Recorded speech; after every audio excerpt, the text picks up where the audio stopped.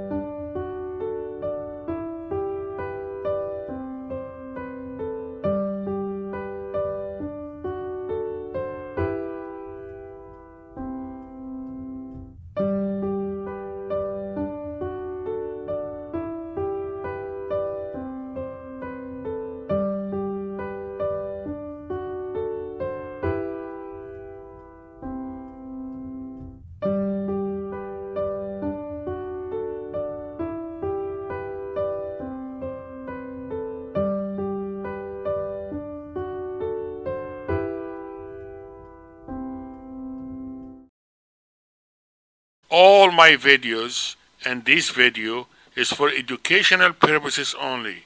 Please consult your doctor before you make any decision about your medical care.